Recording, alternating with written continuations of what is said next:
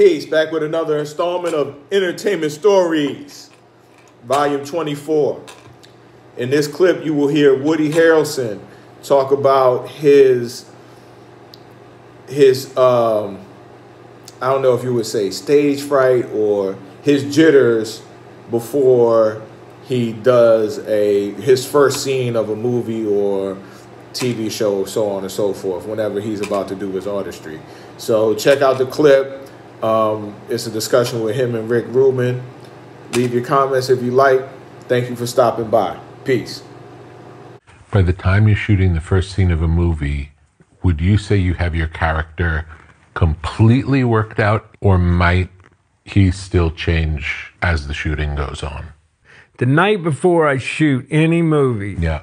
I I'm flooded with doubt. I'm awake through the night, and I mean it's still. I'm 63 years old, right? And I, what the, I don't even- understand it myself. How the fuck am I still so insecure? It's because you want it to be good. I, I That's do, why. I do. You want it to be good. Yeah. And it's scary. You're not free. You care about the outcome, so you're invested. Yeah. Yeah. So you have doubt that first day. Does the doubt go away at the end of the first day typically? It usually starts to diminish after the first take.